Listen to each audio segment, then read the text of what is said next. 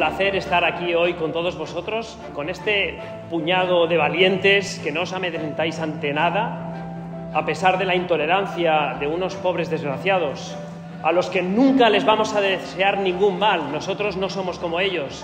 Ante su odio nosotros anteponemos nuestra cordura, nuestro amor, nuestro espíritu de servicio y por lo tanto no caeremos nunca en sus provocaciones como ellos eh, desean constantemente. Y por lo tanto, gracias por vuestra valentía, gracias a todos vosotros por vuestro ejemplo de cordura y de no caer nunca en la provocación. Muchas gracias.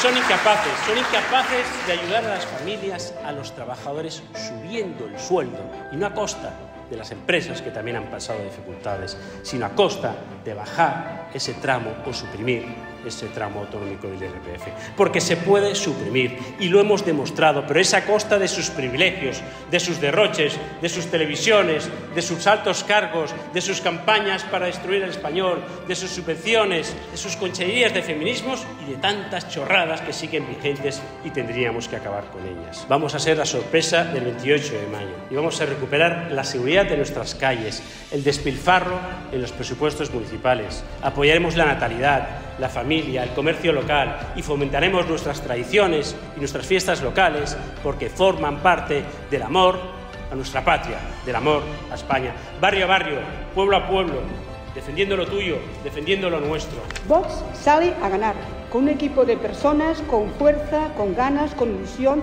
que representa el tejido vecinal y social del municipio.